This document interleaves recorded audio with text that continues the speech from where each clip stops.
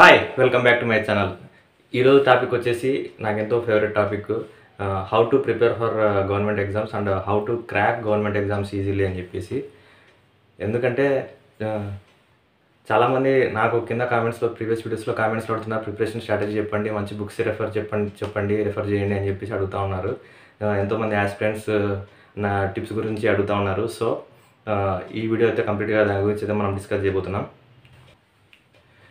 ఈ video main నాకు ఎందుకు ఫేవరెట్ అంటే ముందుగా నేను ప్రిపరేషన్ స్టార్ట్ చేసేటప్పుడు కూడా ఎలా ప్రిపేర్ అవ్వాలని చెప్పేసి వేరే వాళ్ళ వీడియోస్ యూట్యూబ్లో చూసేవాడిని.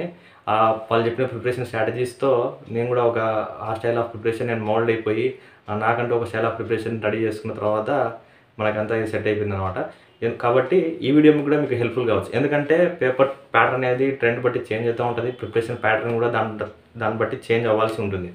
కాబట్టి నా స్టైల్ ఆఫ్ ప్రిపరేషన్ వచ్చేసి మీకు ఎంతవరకు హెల్ప్ఫుల్ అవుతుందో చూ చూడండి. తర్వాత నా స్టైల్ ఆఫ్ ప్రిపరేషన్ నుంచి మీ మీరు కూడా ఒక కొత్త డిఫరెంట్ స్టైల్ తీసుకొని మీకు మీరుగా ప్రిపేర్ అవ్వండి. అది వచ్చేసి మెయిన్ నేను ఇచ్చే టిప్ అనమాట ఒకరికి సెట్ అయిన ప్రిపరేషన్ ఇంకొకరికి సెట్ కాదు. కాబట్టి అందరి ప్రిపరేషన్ స్ట్రాటజీస్ చూడండి. దానిలో మీకు నచ్చిన స్ట్రాటజీస్ అయితే పిక్ చేసుకొని అందులోని బెస్ట్ మీకంటూ ఒక ఫార్మాట్ అయితే రెడీ చేసుకోండి. అదైతే నేను చెప్పగలను. ఇంకోటి ఏంటంటే ఇప్పటికీ మీరు తమిళ చూసే ఉంటారు. ఒకటి ఒకటే ప్రిపరేషన్ స్ట్రాటజీతో మల్టిపుల్ జాబ్స్ అయితే నేను తెచ్చుకున్నాను అని చెప్పేసి. ఎస్ అదైతే నిజమే. ఎందుకంటే నాకు ప్రిపరేషన్ అది ఎలా జరిగిందో మీకు క్లైమాక్స్లో తెలుస్తుంది నేను చెప్తాను. ఇప్పుడు నేనైతే ఈ వీడియో చూడడం వల్ల మీరైతే నేను చెప్పిన టిప్స్ మీరు ఖచ్చితంగా చేస్తే అంటే మీకు మీరు ఓన్గా ఫార్మాట్ రెడీ చేసుకొని మీరు నిజంగా డెడికేషన్తో మీరు చేస్తే మీకు గవర్నమెంట్ జాబ్ ఖచ్చితంగా వస్తుంది. అదైతే నేను పక్కా చెప్తున్నాను. ఏదో ఒక గవర్నమెంట్ జాబ్లో అయితే ఉంటారు. ఫైన్ నెక్స్ట్ వచ్చేసి ఈ వీడియో ఎవరికైతే ఉపయోగపడుతుంది? ముందు అది చూద్దాం. ఎందుకంటే ఈ వీడియో లెంతీగా ఉండబోతుంది. ప్రతి సెకండ్ డిస్కస్ చేసే పాయింట్ ఇంపార్టెంటే కాబట్టి స్కిప్ అయితే చేయకండి. ఒకవేళ మీకు ఈ వీడియో ఈ వీడియో మీకు కాకపోతే ఇక్కడే కట్ చేసేయండి. ఇబ్బంది ఏం లేదు. ఎందుకంటే మీ టైం నేను వేస్ట్ చేయను.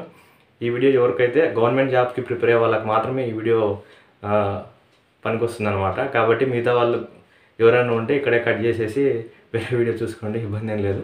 నెక్స్ట్ గవర్నమెంట్ జాబ్ ప్రిపరేషన్ గురించి వచ్చే ముందు ఒక చిన్న అడ్వైస్ అయితే ఇస్తాను. మీరు ఇప్పుడే బీటెక్ నుంచి పాస్ అవుట్ అయ్యి తర్వాత ఇప్పుడు నేను నేను గవర్నమెంట్ జాబ్ ఫీల్డ్కి వస్తాను అనే ఉద్దేశం ఉంటే వాళ్ళకైతే నేను చెప్పేది ఏంటంటే ముందు ఒక స్కిల్స్ డెవలప్ చేసుకుని సాఫ్ట్వేర్ ఫీల్డ్కి అయితే వెళ్ళడానికి అయితే ట్రై చేయండి. లేదు నేను ఒక టూ ఇయర్స్ తర్వాత టూ ఇయర్స్ వరకు ఒక ప్రిపరేషన్ ఇచ్చి ట్రై ఇచ్చి తర్వాత సాఫ్ట్వేర్ ఫీల్డ్ వెళ్తాను అని చెప్పినా కూడా ఓకే. ఆ, టైంలో మీకు కొట్టేసాను నమ్మకం ఉంటే ఇటు పక్కన ఈ వీడియో అయితే చూడండి ప్రిపరేషన్కి రండి ఓకే ఇబ్బంది ఏం లేదు. లేదు ఎందుకు చెప్తున్నా అంటే సాఫ్ట్వేర్ ప్యాకేజ్ ఈస్ డిఫరెంట్. ఇక్కడ ఈ ప్యాకేజ్ డిఫరెంట్. చాలా తేడా అయితే ఉంటుంది. కాబట్టి ఆ లైఫ్ స్టైల్ ఈ లైఫ్ స్టైల్ మేము కంపేర్ చేయలేము కాబట్టి ఓకే. మీకు కంఫర్టబుల్ ఫ్యామిలీ లైఫ్ ఉండి సపోర్ట్ ఉండి మీరు చేయాలనుకుంటే మెయిన్ ఇంకా గ్రూప్ సర్వీసెస్కి ప్రిపేర్ కండి. గ్రూప్ వన్ సర్వీస్ కానీ ఈ సివిల్ సర్వీసెస్ కానీ గ్రూప్ సర్వీసెస్ కానీ ఇంకా ఈ లెవెల్ ప్రిపరేషన్ అయితే మీరైతే స్టార్ట్ చేసి చేసుకోండి. దానికైతే ఇబ్బంది లేదు. లేకపోతే బెటర్ సాఫ్ట్వేర్ స్కిప్ కావడం చాలా బెటర్ అనమాట మీ కోర్ ఇండస్ట్రీ దట్ వన్ ఇంకోటి ఏంటంటే నాకు ఏ జాబ్ అయినా పర్లేదు. Mm, నా నాకు గవర్నమెంట్ జాబ్ ఉంటే చాలు నేను సాఫ్ట్వేర్ ప్రైవేట్ సెక్టర్ నేను వెళ్ళలేను. నాకు గవర్నమెంట్ జాబే కావాలి ఏ జాబ్ అయినా పర్లేదు అంటే ఈ వీడియో మీకోసమే. ఫుల్లీ డెడికేటెడ్ మీకోసమే. ఎందుకంటే ఈ వీడియో చూస్తే మీరు ఏదో ఒక జాబ్ కొట్టుకుంటారు.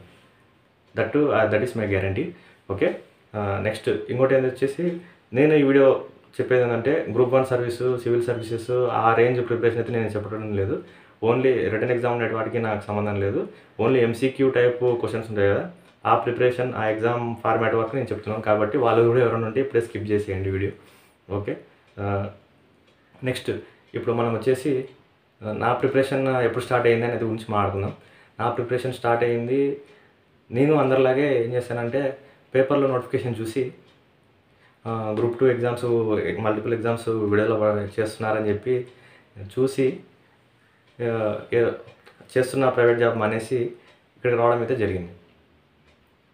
వచ్చి హైదరాబాద్కి వచ్చేసి మంచి ఒక కోచింగ్ ఇన్స్టిట్యూట్ ఎత్తుకొని కోచింగ్లో జాయిన్ అయ్యాను. జాయిన్ అయిన తర్వాత నేను జాయిన్ అయిన ఒక ఫోర్ మంత్స్కే నోటిఫికేషన్ రావడం అయితే జరిగింది. వాళ్ళ ప్రిపరేషన్ హడావిడిగా ఏదో చెప్పడం అయితే జరిగేసింది. ప్రిపరేషన్ కూడా కంప్లీట్ కాలేదు. నేను ప్రిపరేషన్ నేను ఎగ్జామ్ నోటిఫికేషన్ వచ్చినప్పుడు. మనకి నోటిఫికేషన్ నుంచి ఈ ఎగ్జామ్ ఇచ్చే వరకు ఒక మినిమం గ్యాప్ అయితే ఉంటుంది. అప్పుడైతే ప్రిలిమ్స్ మెయిన్స్ అని కండక్ట్ చేసేవాళ్ళు. కాబట్టి నేను ప్రిలిమ్స్ ప్రిలిమ్స్ అయితే నేను అప్పుడున్న ప్రిపరేషన్తో నేను ప్రిలిమ్స్ అయితే క్లియర్ చేయగలిగాను. మెయిన్స్కి వచ్చేసరికి క్లియర్ చేయలేకపోయాను. మనం వచ్చింది ఇప్పుడే ఇంకా నా ప్రిపరేషన్ కూడా అయిపోలేదు. అప్పటికే ఇంకా మెయిన్స్ వరకు వచ్చాము. మెయిన్స్ కూడా క్లియర్ కాలేదు ఓకే నో ప్రాబ్లం ఇప్పుడే వచ్చాం కాబట్టి లాంగ్ లెంత్లో నేను నేను వెళ్ళేసరికి అక్కడికి టూ ఇయర్స్ నుంచి త్రీ ఇయర్స్ నుంచి ఫైవ్ ఇయర్స్ నుంచి ప్రిపరేషన్ ప్రిపరేషన్ మీద ఉండి అలాగే ఉన్న వాళ్ళు ఉన్నారనమాట లాంగ్ లెంత్లో ప్రిపరేషన్ వాళ్ళు ఉన్నారు. ఓకే నో ప్రాబ్లం మనకి కొంచెం టైం పడుతుంది అని అనుకుని ఇంకొక నెక్స్ట్ నోటిఫికేషన్ ఒకటి ఇచ్చేసి మనం బయటకు వచ్చేద్దాం అనే ఉద్దేశంతో అయితే నేనైతే అక్కడైతే ఉన్నాను. నెక్స్ట్ నోటిఫికేషన్ వస్తుంది ఇంకొక వన్ ఇయర్ నెక్స్ట్ ఇయర్ వస్తుంది అని చెప్పడం అయితే జరిగింది.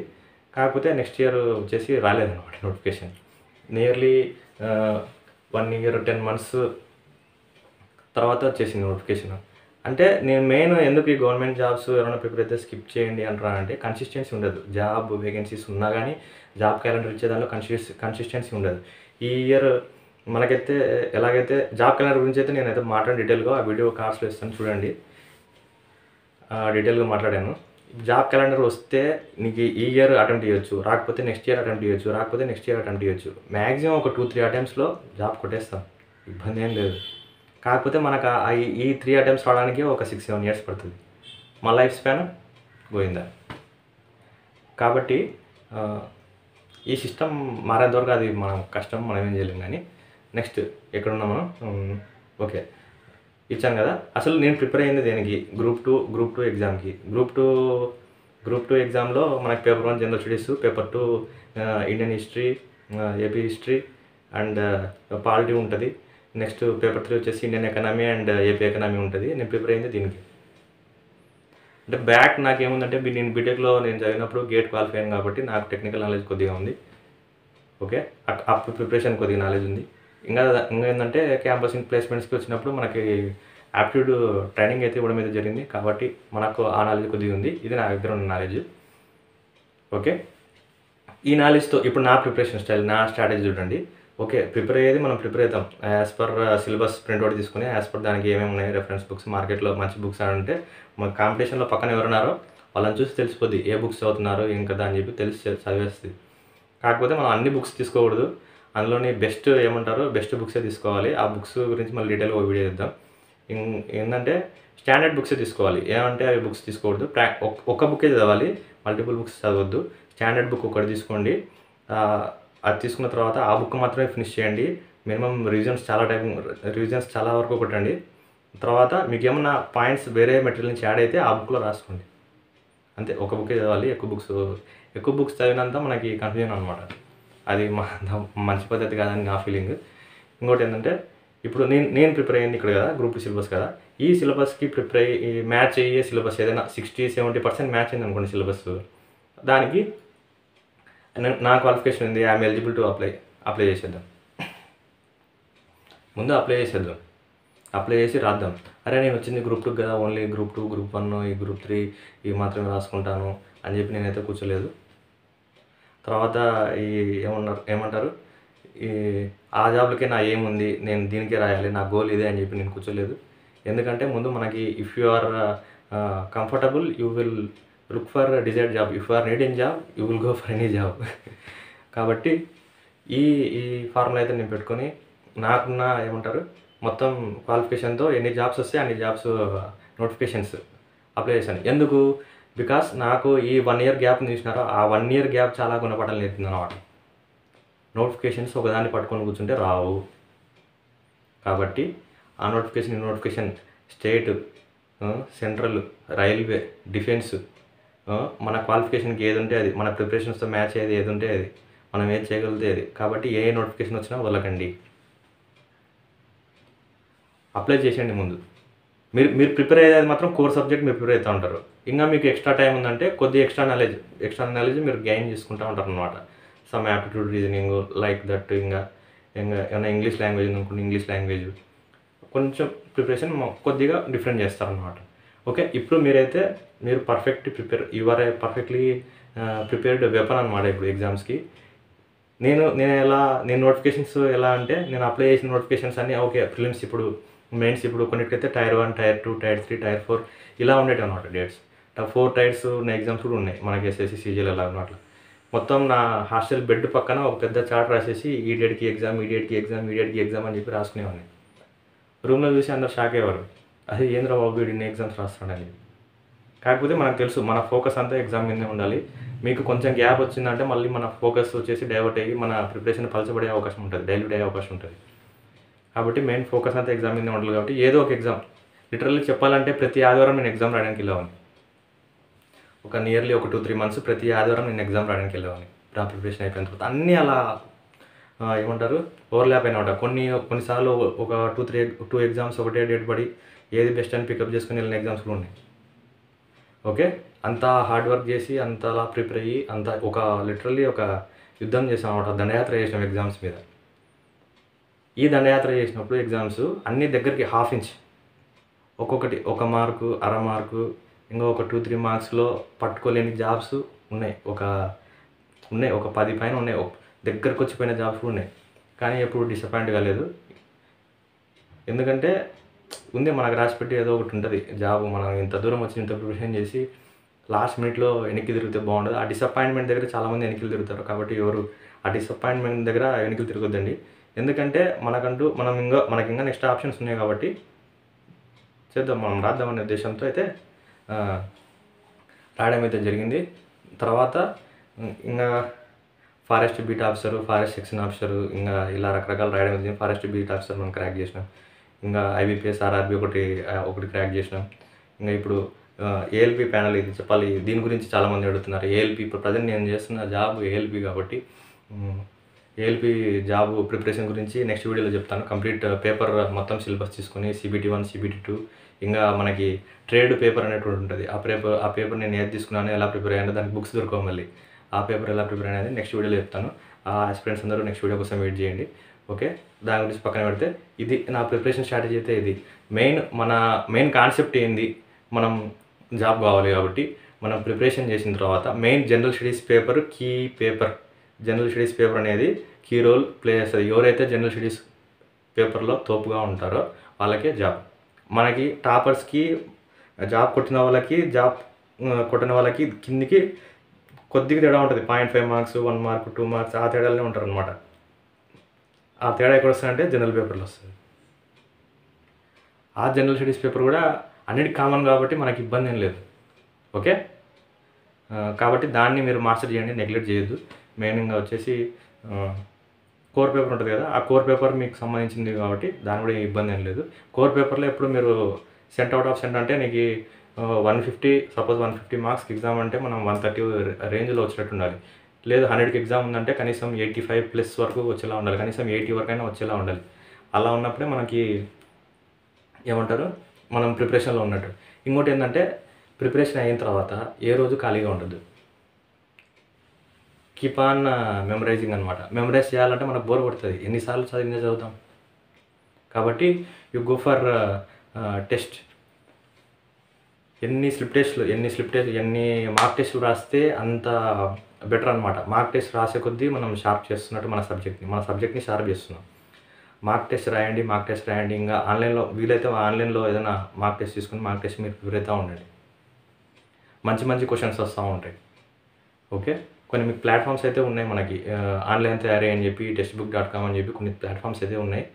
కాబట్టి వాటిలో ఏదైనా ప్యాకేజ్ తీసుకొని దానికి సంబంధించినది ఇంకా తీసుకోండి. ఇంకా మైండ్ టాపిక్స్ ఉంటాయి. మనకి ఇక్కడ బుక్స్ బుక్స్లో దొరకవు బుక్స్లో దొరకవు ఇంకా ఎక్కడ దొరకవు అట్లాంటివన్నీ మనకి యూట్యూబ్లో దొరుకుతాయి. ఆ మైండ్ టాపిక్స్ గురించి మనకి కావాలంటే దాని గురించి ఒక డెడికేటెడ్ వీడియోస్ ఆల్రెడీ చేస్తూ ఉంటారు. ఓకే అదే నా మన లాంగ్వేజ్ కాదు హిందీలో ఉన్నా కూడా మనం హిందీ చూసేసి మనం అర్థం చేసుకొని అది ప్రాక్టీస్ చేసేవాళ్ళం అనమాట కాబట్టి ప్రిపరేషన్కి అయితే సోర్సెస్ గురించి అయితే ఇబ్బంది ఏం లేదు. వా ఇంకా ఏంది బాకీ అంటే మనం ప్రిపేర్ అయ్యేదే బాకీ. కాబట్టి అన్నీ వదిలేసి ఫస్ట్ ఒక సిక్స్ మంత్స్ ఒక సిక్స్ మంత్స్ మ్యాక్సిమం ఇప్పుడు ఫైవ్ మంత్స్ ఫైవ్ మంత్స్ అలా డెడికేటెడ్ కూర్చుంటే ఫైవ్ మంత్స్ ఫైవ్ మంత్స్లో ప్రిపరేషన్ అయిపోద్ది. ఎంత లెంత్ ప్రిపరేషన్ అయినా అని ఫైవ్ మంత్స్లో ప్రిపరేషన్ అయిపోద్ది. ఫైవ్ మంత్స్లో ప్రిపరేషన్ అయిపోయిన తర్వాత నెక్స్ట్ ఒక టూ త్రీ మంత్స్ బాగా మీరు ఎగ్జామ్స్ రాసి sharp చేసినారంటే next your weapon to crack exams okay ఇదే టిప్పు మీకు ఏ దానికైనా కాంపిటేటివ్ ఎగ్జామ్స్కి ఏ దానికైనా మీకు పనికి వస్తుంది కాబట్టి నెక్స్ట్ నేను ఇంకొక పాయింట్ ఏంటంటే ఇప్పుడు నేను ఎందుకంటే మల్టిపుల్ జాబ్స్ ఇప్పుడు ఎట్లా తయారైనాయి అంటే గ్రూప్ వన్ ప్రిలిమ్స్ పేపర్ వచ్చేసి గ్రూప్ ఫోర్ పేపర్ వచ్చేసి సేమ్ లెవెల్ ఉంటుంది. ఈ ఏపీపీఎస్సి ఇవన్నీ తయారయ్యే పేపర్స్ ఎలా ఉన్నాయంటే అలాగే ఉన్నాయి. ఇంకోటి ఏంటంటే ఆర్ఆర్బి ఎన్టీ ఎన్టీపీసీ పేపర్ ఎట్లా ఉందో ఆర్ఆర్బి గ్రూప్ డి పేపర్ కూడా అట్లే ఉంది. నీకు డిఫికల్టీ లెవెల్లో మనకేం తేడా కనిపిస్తలేదు. కాబట్టి మీరు ప్రిపేర్ అయ్యి మీరు ప్రిపేర్ అవుతున్నారంటే ఒక జాబ్కి దానికి దాన్ని ఆ లైన్లో పైన హై లెవెల్ జాబ్ ఉంటుంది. మీరు డైరెక్ట్గా ఆ జాబ్ ప్రిపేర్ కండి అంటే సిలబస్ కామన్ ఉందో లేదో చూసుకోండి అది మెయిన్ ఇంపార్టెంట్. ఈ ఈ ఈ లెవెల్ జాబ్కి మీరు ప్రిపేర్ అయితే తప్ప మనకి ఈ ఈ ఈ టార్గెట్ ఈ జాబ్ అనుకోండి ఈ జాబ్కి ప్రిపేర్ అవుతాం. ఈ జాబ్ అనుకోండి ఈ జాబ్కి ప్రిపేర్ అవుతాం. అర్థమవుతుందా? కాబట్టి ఈ లెవెల్ ప్రిపరేషన్ ఉంటే తప్ప ఈ లెవెల్ జాబ్ కొట్టడం కష్టమవుతుంది ఈ రోజుల్లో. ఎందుకు? బికాజ్ అంటే ప్రిపరేషన్ పేపర్ సెట్టింగ్ ఎందుకంత డిఫికల్ట్ తయారవుతుందంటే మన థ్యాంక్స్ టు బీటెక్ స్టూడెంట్స్ అందరు బీటెక్ స్టూడెంట్స్ అందరూ వచ్చి ఎప్పుడైతే మనకి ఎంటర్ అయ్యారో బ్యాంక్ ఎగ్జామ్స్ టఫ్ అయిపోయినాయి ఈ గ్రూప్స్ ఎగ్జామ్స్ టఫ్ అయిపోయినాయి రైల్వే ఎగ్జామ్స్ టఫ్ అయిపోయినాయి ఇంకా ఏది? ఎస్ఎస్సి ఎగ్జామ్స్ టఫ్ అయిపోయినాయి. టూ టైర్స్ ఉండేది ఫోర్ టైర్స్ చేసినారు. అది బికాస్ అన్ఎంప్లాయ్మెంట్ అలా ఉంది బాబు ఇంకేం చేయలేం. కాబట్టి మీరు ప్రిపేర్ అవుతు ప్రిపేర్ అవుతున్నారంటే నేను చాలామంది కామెంట్స్లో చూస్తున్నాను ఏఎల్పి నా డ్రీమ్ జాబ్ అన్నా ఏఎల్పి నా డ్రీమ్ జాబ్ అన్నా లేకపోతే ఇంకోటి నా డ్రీమ్ జాబ్ అన్నా దానికి చెప్పు అది ఇది అంటున్నారు. డ్రీమ్ జాబ్ అని చెప్పి మీరు పెట్టుకుంటున్నారు ఓకే. కాకపోతే మీ ప్రిపేర్ ప్రిపరేషన్ ఏఎల్పి కానీ చాలా ప్రిపరేషన్ చాలా తక్కువ. దానికి అంత సీరియస్ తీసుకోవాల్సిన అవసరం లేదు. ప్రిపేర్ ఫర్ ఎన్టీపీసీ మీరు ఎన్టీపీసీ ప్రిపేర్ అయ్యారంటే ఏఎల్పి ఆటోమేటిక్ కొట్టేస్తారు. ఇబ్బంది ఏం లేదు. ఎన్టీపీసీ కొట్టే రేంజ్కి వచ్చినారు లేకపోతే ఒక హాఫ్ మార్క్ తేడాలో పోయింది అయినా కూడా మీరు ఏఎల్పి కొట్టేస్తారు. కాబట్టి prepare for NTPC not for ALP okay anyway నేను ఏఎల్పి అయితే మళ్ళీ ఇంకో సపరేట్ వీడియో చేస్తాను preparation strategy don't worry and next వచ్చేసి ఇప్పుడు వచ్చేసి నేను నేను చెప్పాలనుకున్న కంక్లూజన్ ఇదే don't stick for one job అనమాట మీరు ఒక ఒక జాబ్ అప్లై చేసి ఆ జాబ్ ఎప్పుడు వస్తుందా అని చెప్పి త్రీ మంత్స్ తర్వాత నా ఎగ్జామ్ ఉందని చెప్పి జాలీగా తిరిగేసి లేకపోతే ఏదో క్యాజువల్గా ప్రిపేర్ అయ్యి అలా ఉండి ఎగ్జామ్ ఇస్తే కష్టం ఈ రోజుల్లో. అంటే మీ కాబట్టి గివ్ ఏ మ్యారథాన్ మీరు ఎగ్జామ్స్ అప్లై చేసండి రాస్తూనే ఉండండి రాస్తూనే ఉండండి. రాస్తూనే ఉండండి అంతే ఎగ్జామ్స్ రాస్తూనే ఉండండి. మీరు పర్టికులర్గా ఎగ్జామ్ మెయిన్ మెయిన్ ఎగ్జామ్ మాత్రం దృష్టిలో పెట్టుకోండి. మా అది ఉంది కదా మధ్యలో ఇంటర్మీడియట్ ఎగ్జామ్స్ ఉంటాయి కాబట్టి క్యాజువల్ అలా వెళ్ళి ఎగ్జామ్ ఇచ్చేసి వచ్చేసేయండి. అంతే మీ అనాలిసిస్ తెలుసు అనమాట నేను ఈరోజు మీరు రియల్గా ఎగ్జామ్ హాల్లో కూర్చొని ఎగ్జామ్ హాల్లో కూర్చొని రాస్తే ఆ ఫీల్తో మీకు తెలుస్తుంది అనమాట నేను ఎక్కడ పొరపాటు చేస్తున్నాను ఎక్కడ లేకపోతున్నాను వచ్చి కరెక్షన్ చేసుకొని నెక్స్ట్ ఎగ్జామ్కి బెటర్ చేసుకోండి దేర్ యువర్ బెటర్ ప్రోగ్రెస్ అనేది. ఇంకోటి ఏంటంటే కోచింగ్ ఇన్స్టిట్యూట్ జాయిన్ కావాలన్నా పక్కా అనేది ఒక క్వశ్చన్ వస్తుంది. మీరు అడుగుతారు. ఎందుకంటే కోచింగ్ కోచింగ్ ఇన్స్టిట్యూట్ అవసరం లేదు చెప్పాలంటే. అవసరం లేదు. సొంతంగా ప్రిపేర్ అయ్యి కొట్టే వాళ్ళు కూడా ఉన్నారు.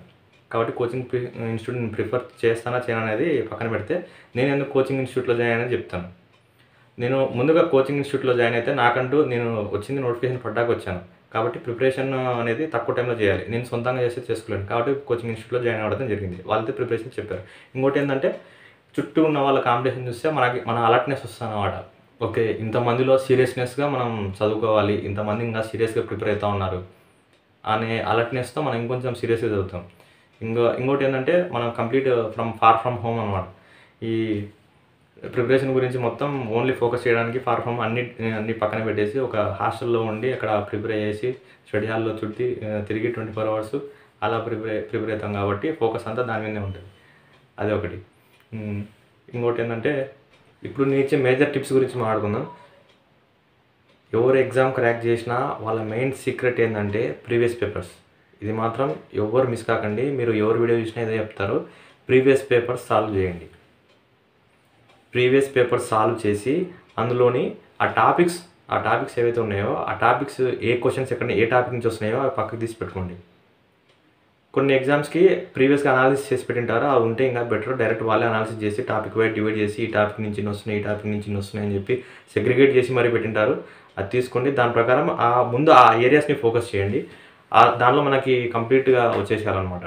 సెంట్కి సెంట్ పర్సెంట్ మనము మనం కాన్ఫిడెంట్గా ఉండాలి తర్వాత వచ్చేసి ఆ హైల్ టాపిక్స్ మనం ఏదైతే పట్టినామో ఆ- హైల్డ్ టాపిక్స్ పట్టున్నాం కదా అది ఓకే అది అందరు చెప్తారు. అందరూ చేసే వరకు చాలా వరకు ఇస్తారు నెక్స్ట్ మిగతా టాపిక్స్ మనం ఎక్కడ కవర్ చేయాలంటే ఇది వచ్చేసి నేను ప్రిపేర్ అయ్యింది డైనమిక్ పార్ట్ అనమాట ఈ డైనమిక్ పార్ట్ అంటే ఇప్పుడు కరెంట్గా కరెంట్ ఇష్యూస్ కరెంట్ అఫైర్స్లో కానీ జరుగుతున్నది కానీ ఏమైనా న్యూస్లో వచ్చింది కానీ లేకపోతే ఇక్కడ కరెంట్ బర్నింగ్ టాపిక్స్ ఏమైనా ఇష్యూస్ జరుగుతుంటే వాటికి సంబంధించి ఏమైనా రిలేటెడ్ ఉంటే దానికి సంబంధించిన కొన్ని టాపిక్స్ అయితే మనకి రావడం అయితే ఉంటుంది. Related to back history. Okay ఆ డైనమిక్ అప్రోచ్ ఏందో నీకు మళ్ళీ మీకు చెప్తాను నేను. ఓకే డీటెయిల్గా అది చెప్పేటప్పుడు. అది మెయిన్ వచ్చేసి ప్రీవియస్ పేపర్స్. దాని హై టాపిక్స్ మొత్తం మాత్రం మనం పర్ఫెక్ట్ ఉండాలి. నెక్స్ట్ వచ్చేసి సెకండ్ పాయింట్ వచ్చేసి స్టడీ అవర్స్ మీరు ఎంత స్టడీ చేస్తున్నారు? మీరు ఒక కాన్సెప్ట్ గురించి మీరు క్లియర్ అయ్యేంత వరకు మీరు కాన్సెప్ట్ ఒకసారి చదవండి క్లియర్గా చదవండి. More time you can save ఒకవేళ మెమరైజింగ్ టెక్నిక్ అనుకో అది ఇంటర్వెల్స్ ఇచ్చి మెమరైజ్ చేసుకుంటూ ఉండండి. చేస్తే మెమరైజ్ అయిపోద్ది. మీరు ఎంత స్టడీ ఎంత స్టడీ చేసినా కానీ మధ్యలో రెస్ట్ అనేది చాలా ఇంపార్టెంట్ అనమాట నేనైతే నేనైతే ఒక half an hour half an అవరే చదివేవాడిని. హాఫ్ అన్ అవర్ చదివేసి ఒక టెన్ మినిట్స్ బ్రేక్ తీసుకునేవాడిని. మళ్ళీ ఒక హాఫ్ అన్ అవర్. అందరు ఫార్టీ ఫైవ్ మినిట్స్ చెప్తారు. వన్ అవర్ అట్లా చెప్తారు. నాది అట్లా వర్కౌట్ అయ్యేది కాదు. ఒక హాఫ్ అన్ అవర్ చదివేసి ఒక టెన్ మినిట్స్ బ్రేక్ తీసుకునేవాడిని. ఇంకోటి ఏంటంటే స్టడీ హాల్లో కూర్చొని ఎక్కువగా హాట్ వాటర్ తాగేవాడిని. హాట్ వాటర్ తాగుతూ నేనైతే ప్రిపరేషన్ చేసే ప్రిపరేషన్ అయితే చేసేవాడిని. నాకైతే ఎందుకు అలా అయితే ఇష్టం అది. ఇంకోటి ఏంటంటే మార్క్ టెస్ట్ డైలీ ఒక మార్క్ టెస్ట్ అయితే కంపల్సరీ రాయండి. నేను ఆల్రెడీ చెప్పాను మళ్ళీ చెప్తున్నాను. Mark test is the important ఎంత ఇంపార్టెంట్ అంటే దట్స్ ప్లేస్ క్రూషియల్ అనమాట మార్క్ టెస్ట్ రాస్తే నాకు త్రీ అవర్స్ పోతుంది మళ్ళీ అనాలిసిస్కి ఇంకో టూ అవర్స్ ఫైవ్ అవర్స్ పోతుంది అంటే కాదు. మీరు మార్క్ టెస్ట్ మీరు చేస్తారంటే మీకు వచ్చిన పిట్సే చేస్తారు కాబట్టి ఫస్ట్ మ్యాక్సిమం వన్ అవర్లో వెళ్ళిపోద్ది మొత్తం. ఇంకా మీరు ఈ యాప్టిట్యూడ్ ఇవన్నీ ఇవన్నీ చేస్తుంటే మ్యాక్సిమం టూ అవర్స్లో వెళ్ళిపోద్ది. ఇంకా రాని బిట్స్ ఏమున్నాయి అనుకో దానికి ఒక అనాలిసిస్ చేయడానికి దానికి ఒక టూ అవర్స్ అయితే వెళ్ళిపోద్ది. మహా అయితే ఫోర్ అవర్స్ అది మీరు అడ్జస్ట్ చేసుకోవాలి టైం మీరు మార్క్ టెస్ట్ ఎంత సీరియస్ ఇస్తే మీకు అన్ని బెటర్ రిజల్ట్స్ ఉంటాయి. ఓకే దట్స్ గుడ్ నెక్స్ట్ ఏంటంటే ఈ మెమరైజింగ్ టెక్నిక్స్ అయితే ఉన్నాయో ఆ మెమరైజింగ్ ఈ మెమ మెయిన్ కొన్ని దానిలో వచ్చేసి ఇయర్స్ అడుగుతారు. ఈ ఇయర్స్ ఈ ఇయర్స్ని ఎలా మెమరైజ్ చేసుకోవాలి? ఇవన్నీ రకరకాల టెక్నిక్స్ ఉంటాయి అవి మళ్ళీ డిస్కస్ చేద్దాం. కాబట్టి ఈ టిప్స్ అయితే ఈ ఫోర్ టిప్స్ అయితే మీరు బాగా గుర్తైతే పెట్టుకోండి. కాబట్టి నా నా వీడియో నా ప్రిపరేషన్ స్టైల్ అయితే మీకు ఎంటూ ఉపయోగపడింది అని అనుకుంటున్నాను. Don't stick for one particular job అనేది నేనైతే మెయిన్ చెప్పబోతున్నాను. గివే మారథాన్ దాన్ని బట్టి మీకు మల్టిపుల్ జాబ్స్ ఏంది మీరు ఒక థ్రెషోల్డ్ పాయింట్ అయితే ఉంటుంది. ఆ థ్రెషోల్డ్ పాయింట్ మీ ప్రిపరేషన్లో దాటిన తర్వాత you can crack any job మీరు ఆ థ్రెషోల్డ్ పాయింట్ దాటిన తర్వాత వచ్చిన జాబ్స్ అన్ని మీరు క్రాక్ చేస్తారు. ఐ ప్రామిస్ మీరు ఈ వీడియో చూసినారు ఖచ్చితంగా నా స్టైల్ మీరు అడాప్ట్ చేసుకున్నారంటే ఖచ్చితంగా ఒక జాబ్ అయితే ఖచ్చితంగా కొడతారు. దాంట్లో డౌట్ ఏం లేదు. మీరు జాబ్ మీరు జాబ్ కొట్టిన తర్వాత మళ్ళీ ఇదే వీడియోకి వచ్చి నాకు కామెంట్ చేయండి. బ్రదర్ మీ స్టైల్ నేను కాపీ కొట్టిన తర్వాత ఈ జాబ్ నేను క్రాక్ చేసిన అని చెప్పితే కింద అయితే ఈ వీడియో దగ్గర అయితే కామెంట్ చేయండి. నేను చాలా హ్యాపీగా ఫీల్ అవుతాను. అండ్ దెన్ ఇంకా మంచి మంచి ప్రిపరేషన్ టిప్స్తో ఇంకా నేను ముందుకు వస్తూనే ఉంటాను. ఈ వీడియో మీకు నచ్చినట్టయితే ముందైతే లైక్ చేయండి. మీకు ఉపయోగపడింది అనుకుంటేనే లైక్ చేయండి లేకపోతే వద్దు. ఇంకా కంటిన్యూగా నన్ను నా నుంచి టిప్స్ తీసుకోవాలన్నా ఇంకా యూస్ఫుల్ వీడియోస్ చూడాలనుకున్నా కానీ సబ్స్క్రైబ్ అయితే చేసుకోండి. ఓకే ఇంకేమైనా డౌట్స్ ఉంటే కింద కామెంట్స్ అయితే మీరైతే ఎక్స్ప్రెస్ చేయొచ్చు. నేను మళ్ళీ దాటి గురించి కూడా వీడియోస్ చేస్తాను. Okay until then bye bye